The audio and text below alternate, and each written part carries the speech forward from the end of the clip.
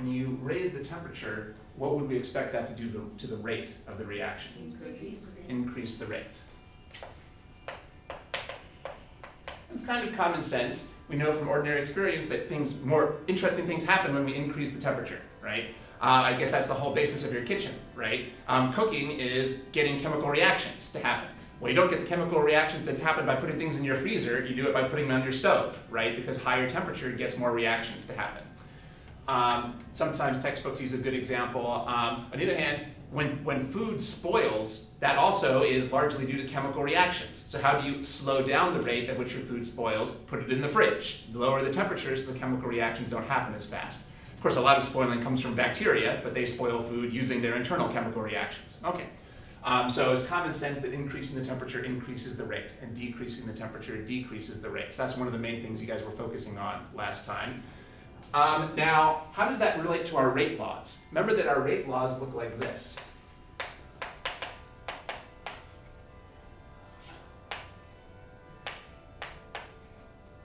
Something like this, perhaps, for a generalized rate law. These are the types of rate laws that we talked about before. Well, if increasing the temperature increases the rate, it must be affecting something in this equation. Well, what's it affecting? Yeah, the rate constant. It wouldn't make sense for it to affect A here, because this is supposed to be the concentration of something. Well, concentrations do affect rates, but they're totally different things from temperatures. Just making something hotter doesn't change the concentrations. Uh, and these exponents are parameters that are constant for a certain type of reaction. So what we're really saying here is that, so does increasing the temperature increase or decrease the rate constant? So that's what we really should have said. Increasing the temperature increases the rate constant and thereby increases the rate. That's why, uh, so uh, a couple of sections ago, you guys learned how to figure out these rate laws. You learned how to figure out this exponent and how to figure out the rate constant from the experimental data. But if you look at the experimental data, it always says something like experimental data gathered at 25 degrees Celsius or 30 degrees Celsius. They have to say what temperature it was gathered at, because at a different temperature, you would have gotten different data and a different rate constant. Okay. Um, so let's try to get an equation that relates these things. Um, so there should be a positive relationship between these. Uh, let's see, are we quite ready for this? So um, let's say,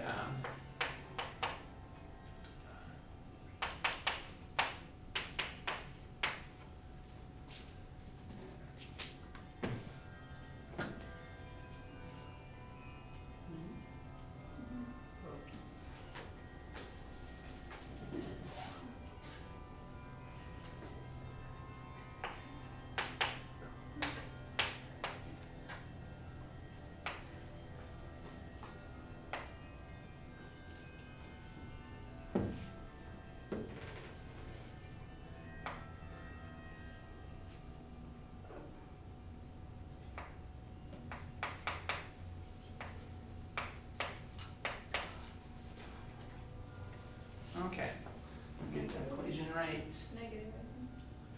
Okay. Now, What about n? Isn't n supposed to be somewhere there? so let's say we increase the temperature.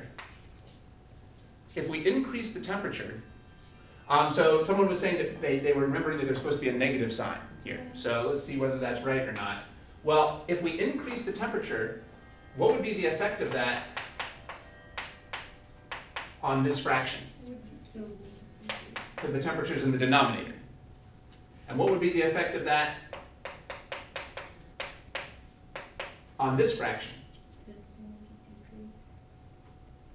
If this fraction decreases, what happens to this fraction?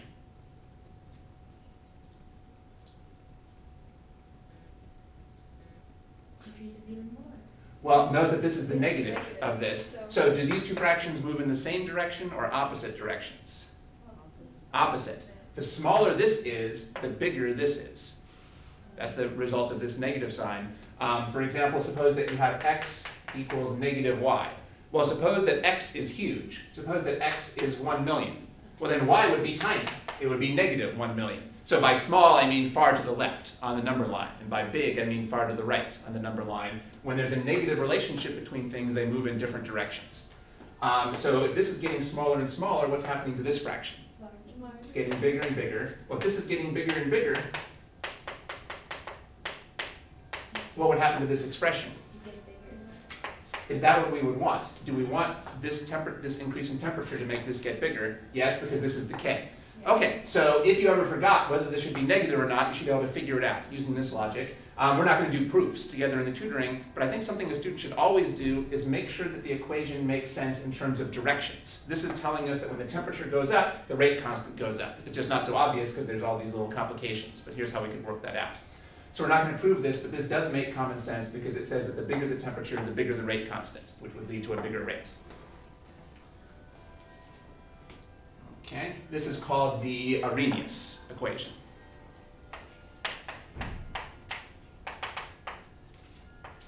The Arrhenius equation.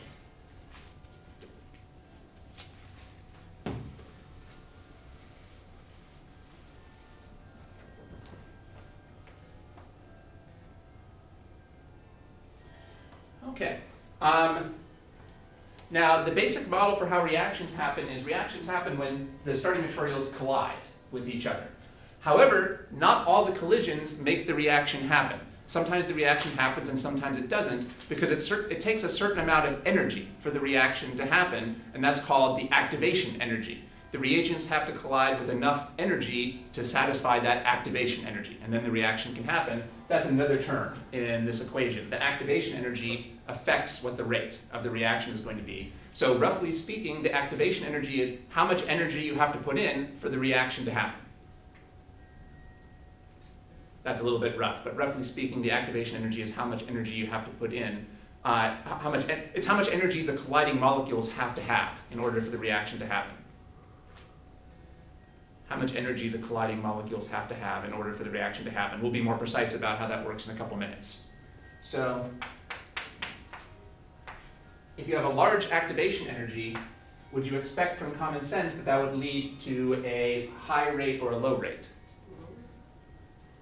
High or low? Low. Yeah, that's right.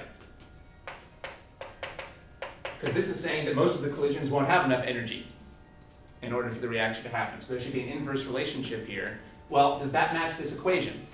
Is this equation saying that there's an inverse relationship with, between the activation energy and the rate constant?